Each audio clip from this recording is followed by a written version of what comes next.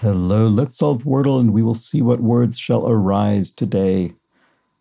Okay, good. We have three of the of the five letters. That's that's not a bad start. So what do we do with these?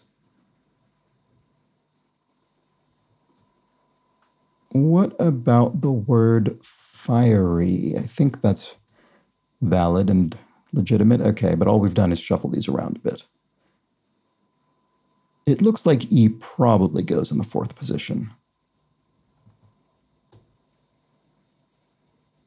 Rivet? No, once again, we're just we're just shuffling things around. So what now? Could be something like mired. Ugh, okay. Well, we know where the R goes at least. That's something.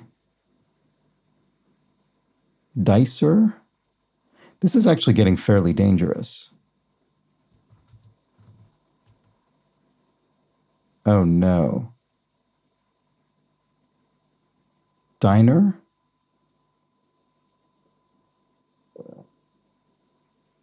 I actually don't see any other possibilities, so I might I might not be completely out of luck.